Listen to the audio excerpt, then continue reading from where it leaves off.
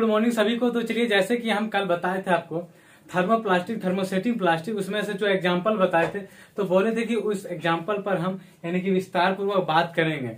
तो उस एग्ज़ाम्पल में जो जो इम्पोर्टेंट एग्ज़ाम्पल लगा, वो एग्ज़ाम्पल ला है, पहला है पॉलिस्टाइरिन यानी कि पॉलिस्टीन जो है, ये था थर्मोप्लास्टिक का एग्ज़ाम्पल जो फ़र्स्ट में है, और दो एग्ज़ाम्पल यहाँ बैकेलाइट और यहाँ क्या है? पॉलिविनाइल ये क्या है आपका? ये भी है थर्मोप्लास्टिक का, ये है थर्मोसेटिंग प्लास्टिक का एग्ज़ाम्पल तो चलिए सबसे पहले हम बात करते हैं पॉलिस्ट्रीन की। तो पॉलिस्ट्रीन क्या है? यानी कि फेनिल एथिलीन के बहुलीकरण के फल स्वरूप जो प्राप्त होता है, इसका उपयोग अम्ल रखने की बोतल सेलों के कवर आदि बनाने में होता है। यानी कि पॉलिस्ट्रीन का जो उपयोग क्या होता है? अम्ल रखने वाले बोतल, यानी कि बनाया जाता है। उसके बाद सेलों के कवर आदि बनाने में उपयोग इसका होता है। ये किसका एग्ज़ाम्पल है? तो थर्मोप्लास्टिक का एग्ज़ाम्पल है पॉलिस्टाइरिन यानी कि फेनिल एथिलीन के बहुलीकरण के फलस्वरूप प्राप्त होता है। इसका उपयोग क्या है? अम्ल रखने की, बोतल और सेलों के कवर आदि बनाने में होता है। किसका उपयोग यानी कि, ध्यान दीजिएगा, सबसे यानी कि इम्पोर्टेंट क्या है? अम्ल रखने की बोतल का उपयोग जो होता है पॉलिस्टाइरिन का यानी बना होता है। उसके बाद आज का भी जितना पॉइंट है, ये भी डायरेक्ट टच करने वाला पॉइंट है। तो ध्यान दीजिएगा, ये बहुत इंपॉर्टेंट पॉइंट है ये वाला। यानी कि ठोस क्या है ठोस कपूर से वाष्प बनाने की क्रिया क्या है? ऊर्ध्वपातन का उदाहरण है। यानी ठोस कपूर, यानी क्या है? ठोस कपूर से वाष्प बनाने की क्रिया क्या कहलाती है? ऊर्ध्वपातन का उदाहरण है। क्या है? ऊर्ध्वपातन का उदाहरण है। ये बहुत इंपॉर्टेंट आता है डायरेक्ट पूछता है ठोस कपूर से वाष्प बनाने की क्या यानी कि क्रिया को क्या कहते हैं? तो वह है ऊर्ध्वपातन। फिर दूध से दही का बनना कौन सा है? तो किनवन का उदाहरण है। ये भी बहुत इंपॉर्टेंट है। ऊपर वाला क्वेश्चन पूछा हुआ है। ठोस कपूर से बनाने यानी कि वाष्प बनाने की क्रिया ऊर्ध्वपातन है और दूध से दही का बनना क्या है? किनवन का उदाहरण है। यानी कि किनवन क्रिया के कारण ही दूध से क्या होता है? दही बनता है। फिर चलते हैं, अगला क्या है? पेट्रोल का मुख्य संघटक क्या है? ऑक्टेन। पेट्रोल का मुख्य संघटक क्या है? तो ऑक्टेन है। ध्यान दीजिएगा। पेट्रोल का मुख्य संघटक क्या है? तो ऑक्टेन है। फिर बात करते हैं गोबर गैस। प्राकृतिक गैस, बायोगैस से निकलने वाली गैसों में मुख्यतः मिथेन गैस होती है। यानी कि ये भी इंपॉर्टेंट चीज़ है और सबको प्राय सभी को ये चीज़ पता रहता है। तो ध्यान दीजिएगा लेकिन फिर भी इंपॉर्टेंट है तो लेकर आए हैं। तो ध्यान दीजिएगा गोबर गैस, प्राकृतिक गैस, बायोगैस से निकलने वाली गैसों में मुख्यतः जो होती है, मिथेन गैस होती है। फिर देता हैं नेक्स्ट पॉइंट। नेक्स्ट पॉइंट क्या है? एलपीजी। एलपीजी का प्रमुख घटक क्या है? ब्यूटेन है। पेट्रोल का क्या था? पेट्रोल का मुख्य घटक क्या था? ऑक्टेन। और एलपीजी का मुख्य घटक है ब्यूटेन।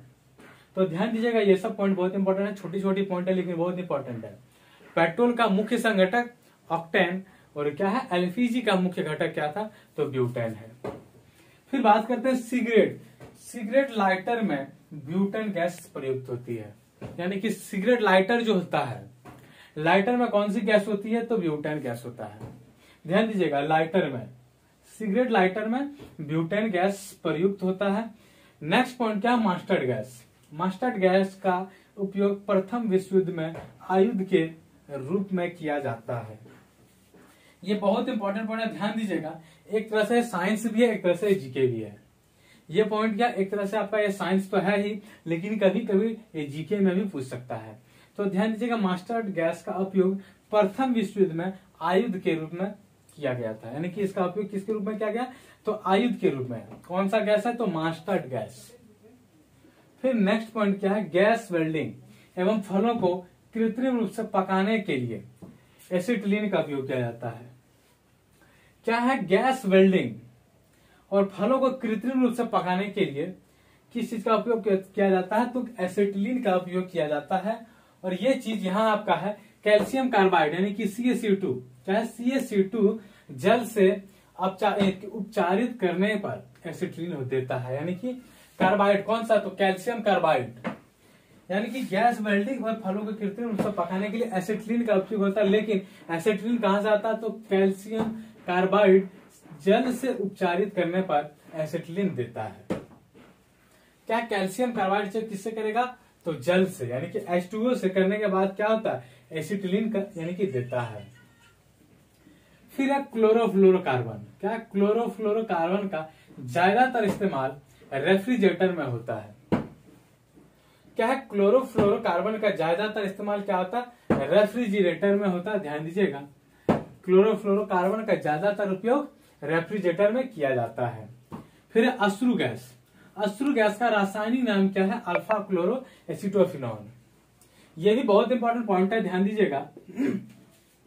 अश्रु गैस का रासायनिक नाम क्या है? अल्फ़ा क्लोरो एसिटोफिनॉन अश्रु गैस का रासायनिक नाम क्या है? अल्फ़ा क्लोरो एसिटोफिनॉन बहुत इंपॉर्टेंट पॉइंट है, इसलिए हम दो बार, तीन बार इसको रिपीट कर देते हैं, ताकि आप सुनते सुनते आपको याद हो जाए। तो अश्रु गैस का रासायनिक नाम क्या था? है अल्फ़ा क्लोरो एसिटोफिनॉन फिर बात करते हैं नेफ्सिलीन। नेफ्सिलीन का मुख्य स्रोत क्या होता है तो कोलतार है। नेफ्सिलीन का मुख्य स्रोत क्या है? कोलतार है। नेफ्सिलीन का मुख्य स्रोत क्या है? तो कोलतार। फिर अब फलों का। मधुर स्वाद जो होता है फ्रोक्टोज के कारण होता है। फलों का मधुर स्वाद, यानी कि फलों का जो मीठा स्वाद होता है, मीठा जो होता है, किसके कारण होता है? तो फ्रक्टोज के कारण, ये भी बहुत इंपॉर्टेंट पॉइंट है। तो ध्यान दीजिएगा, सारा हम क्या कहते हैं? यानी कि इंपॉर्टेंट पॉइंट को ही लाते हैं जो कि टच करे। सिर्फ़ मेरा, यानी कि न्यूमेरिकल वाला चीज़ छूट रहा है, यानी कि इक्वेशन वाला चीज़ छूट रहा है, बाकी जितना, यानी कि सब्जेक्टिव चीज़ है वो सारा चीज़ हम इम्पोर्टेंट चीज़ को लेकर आए तो ध्यान दीजिएगा, सारा चीज़ इंपॉर्टेंट दिख रहा है। जैसे अचू गैस का रासायनिक नाम बताया थे अल्फ़ा क्लोरो एसिटोफिनॉन फिर बताया फलों का मधुर स्वाद जो होता है फ्रक्टोज के कारण होता है। फिर है बैकेलाइट बैकेलाइट किसका था? तो थर्मोसेटिक प्लास्टिक का एग्ज़ाम्पल था। ये क्या है? बैकेलाइट जो था थर्मोसेटिक प्लास्टिक का एग्ज़ाम्पल था। ये था थर्मोप्लास्टिक का, ये भी है थर्मोप्लास्टिक का। लेकिन ये क्या है बैकेलाइट थर्मोसेटिक प्लास्टिक का। तो ध्यान दीजिएगा थर्मोसेटिंग प्लास्टिक का एग्ज़ाम्पल बैकेलाइट की बात कर रहे हैं। तो यह फिनोल तथा फॉर्मेल्डिहाइड को सोडियम हाइड्रोक्साइड की उपस्थिति में गर्म करके प्राप्त किया जाता है। यानी कि फिनोल तथा फॉर्मेल्डिहाइड को सोडियम हाइड्रोक्साइड की उपस्थिति में गर्म करके प्राप्त किया जाता है। किस चीज़ को? तो बैकेलाइट को ध्यान में रखना है। उसके बाद इसका उपयोग, यानी कि बैकेलाइट का उपयोग जो है रेडियो टेलीविज़न आदि बनाने में किया जाता है उसका प्लास्टिक जो होता है, उसमें इसका उपयोग किया जाता है बेकेलाइट का। फिर अंतिम क्या बचा? Polyvinyl chloride.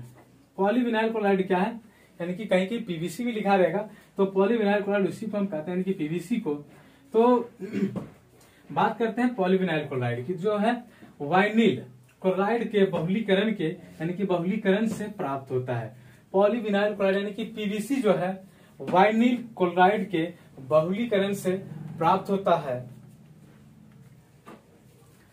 ध्यान दीजिए कौन सा था? तो पॉलीविनाइल क्लोराइड। ध्यान में रखना, ये किसका एग्जांपल है? तो थर्मोप्लास्टिक का। और ये किसका एग्जांपल था? तो थर्मोसेटिंग प्लास्टिक का। ये भी है थर्मोप्लास्टिक का। तो ध्यान में रखना, ये सब इंपॉर्टेंट चीज़ है। यानी कि अश्रु गैस, जो भी बताए ये सब यानी कि ये उर्दपातन क्रिया किन्वन क्रिया, ये सब सारा आपका इंपॉर्टेंट है। तो फिर मिलेंगे नेक्स्ट क्लास में। तब तक के लिए थैंक यू